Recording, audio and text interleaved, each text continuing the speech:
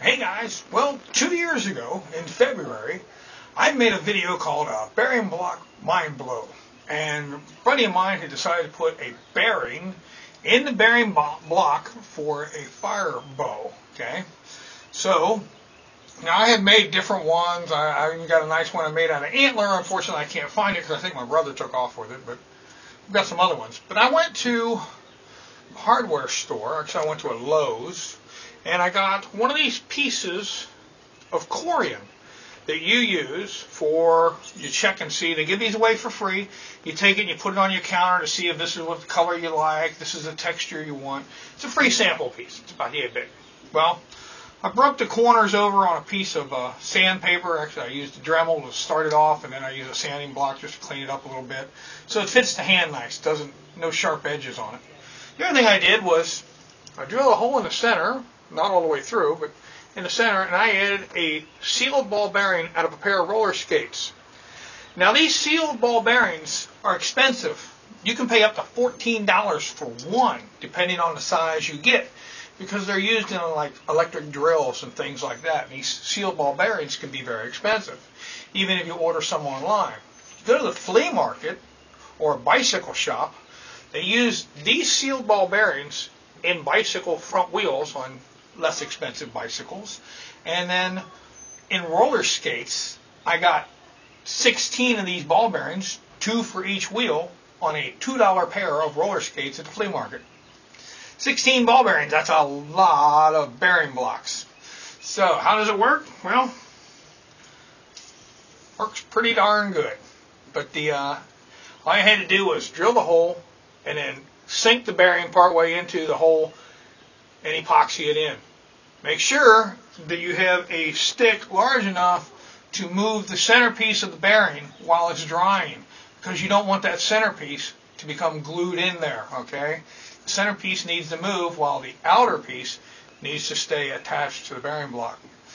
So now you could drill a hole in this and wear it around your neck. You could drill a hole in it and hang it on your pack or throw it in your fire kit or whatever you want to do. And the nice thing is the stick doesn't have to fit in the hole.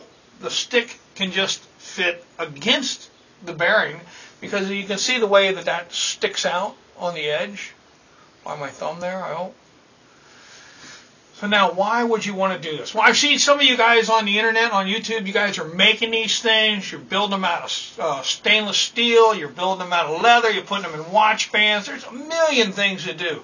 Uh, you know, wonderful, great. You know, that's why I said I don't want to make any money off of it. Everybody in the world can make one. It's simple enough to do.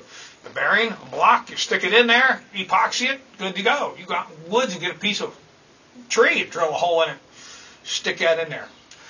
But what does this do that using a regular bearing block doesn't do?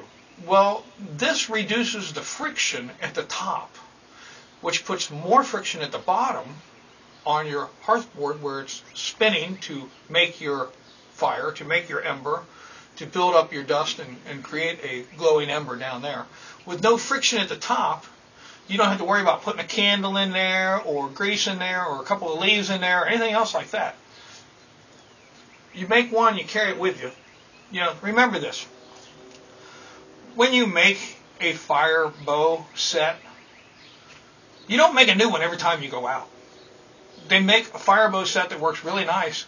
You keep it and you just make another hole when the first hole burns out, and just keep adding on to it.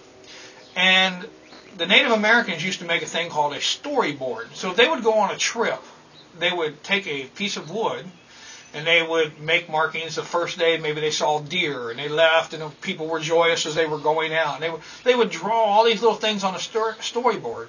And then when they got to making a fire that night, or they did some kind of big fire thing, like they were going to have a big meetup with a bunch of other people and they had a fire, they would use that piece of wood and they would make a fire with that piece of wood and it would become part of the story. And they didn't throw that away. It went back and hung in their lodges and went back to their to their places with them, and they kept that because that was the story to pass down of something really neat that happened. You know, so they didn't always get rid of the fireboards and make a new one every time. But with this, the friction is all at the bottom. It also includes your speed. And, you know, as long as the wood rests against that bearing and that bearing spins, it doesn't have to go in there. It can just sit on top of it and spin. You don't have to make it fit perfect inside there. That's the nice part about it. So, making one's very simple, very small, easy to carry. You always got it. One less thing you have to make when you're out there in the field. And it's fun to play with on top of everything else. All right. Well, I hope this gets you to be a little creative and it shows you how cheap you can make one. I mean, I could have just went out here in the woods and grabbed a piece of wood, drilled a hole in it, and stuck a bearing in there. That's all there is to it. That's it. All right. Guys have a good one. I'll catch you on the next one.